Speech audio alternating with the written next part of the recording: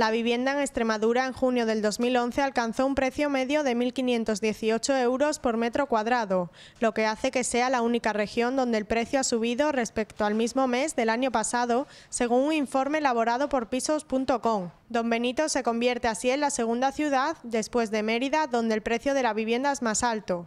K30 ha querido saber qué opinan los expertos en el sector de estos datos. Eh, pues creo que no es exactamente así.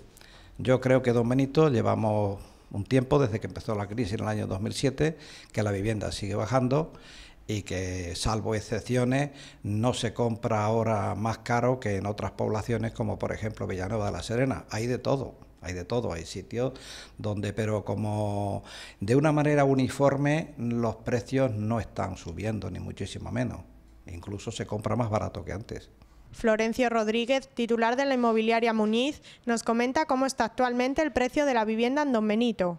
Una media, es una media. Luego hay mil circunstancias en las viviendas, dependiendo de las calidades, dependiendo de eso, de la antigüedad de la vivienda, dependiendo de las necesidades, dependiendo de muchísimos factores. Estamos en un mercado eh, totalmente revuelto, entonces los precios cada uno vende como puede y el comprador en estos momentos es el que manda y es el que pone el precio. Entonces el que quiere vender tiene dos opciones, o comprar o vender al comprador que tiene o esperar al siguiente que puede que le tarde bastante. Consecuencia, que los precios, la tendencia es a bajar.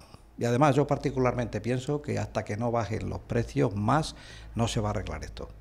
Asegura que las ventas se están manteniendo, pero a duras penas. Por otro lado, hemos querido saber qué opinión tienen los ciudadanos de Don Benito de esta noticia. Un vecino de la ciudad, nacido en Don Benito pero que reside en San Sebastián, asegura que los precios aquí están muy baratos. Yo creo que están muy asequibles las viviendas aquí en Don Benito y sobre todo las de segunda mano, ¿eh? porque estamos viendo ahora mismo, acabamos de ver lo de la gestoría aquí más abajo y sobre 100.000 euros una vivienda de segunda mano completa de tres habitaciones y de dos cuartos de baño.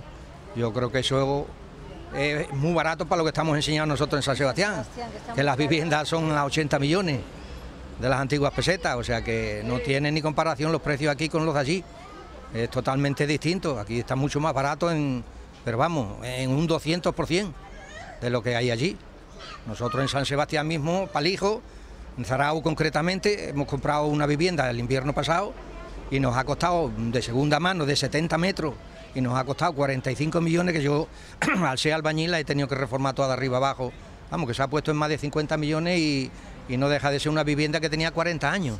Por otro lado, hemos dado con el caso de un extranjero que vive en Don Benito y que no puede permitirse la compra de una vivienda por los precios tan elevados. Eh, es bastante caro, es muy caro, es bastante caro.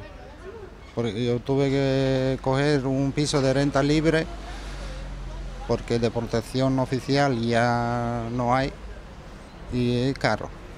A pesar de que Don Benito es, después de Mérida, la ciudad más cara, Villanueva de la Serena, situada tan solo 5 kilómetros, se sitúa como la ciudad más asequible de la región, con un precio de 1.011 euros por metro cuadrado.